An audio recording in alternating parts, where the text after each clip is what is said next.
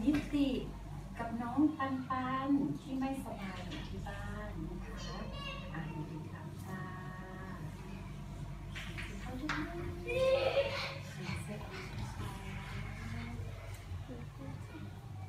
มีนิทานเล่าให้เด็กฟังนะคะ เรื่องชาวนา ชาวนาคนหนึ่ง มีอาชีพชาว มีอาชีพทำนา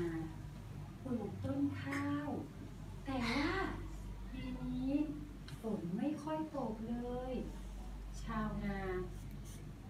ไม่สามารถที่จะมีต้นข้าวไปขายได้ ชาวนาอยากให้มีฝนตกลงมาเพราะว่าชาวนาต้องการใช้น้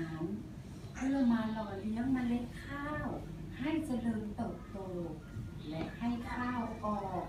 เมล็ดสวยๆ เพื่อนำไปขาย ชาวนาถึงจะมีรายได้ ชาวนากระซิบบอกคุณบิวว่า ชาวนาจะทำยังไงดีนะ ถึงจะให้มีฝนตกลงมาครูบิวก็เลยบอกชาวนาว่า เอ๊ะเด็กๆห้องครูบิวนะคะ มีแต่เด็กที่เก่งชอบช่วยเหลือคนอื่นครูบิวจะให้เด็กๆห้องครูบิวเนี่ยช่วยสร้างฝนให้ตกลงมาที่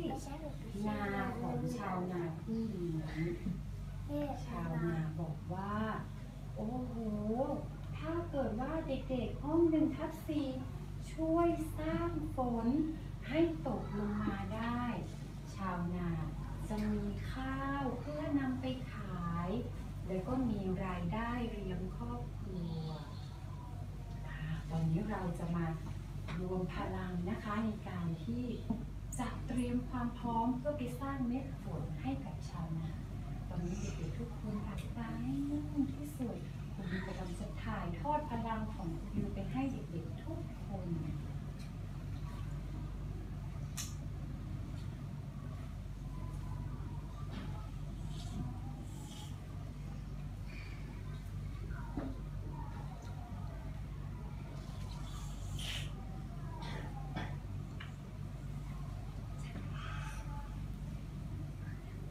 ตอนนี้ ครูส่งพลังไปให้เด็กๆทุกคนแล้วนะคะ เด็กๆก็ถ่ายทอดพลังไปให้เพื่อนโดยการจับมือเพื่อนที่น่ารักของเด็กๆทุกคนเลย ตอนนี้เรามีพลัง พร้อมที่จะทำฝนให้กับชาวนาแล้ว ตอนนี้เด็กๆปล่อยมือเพื่อนแล้วก็ลุกขึ้นนั่งได้เลยค่ะ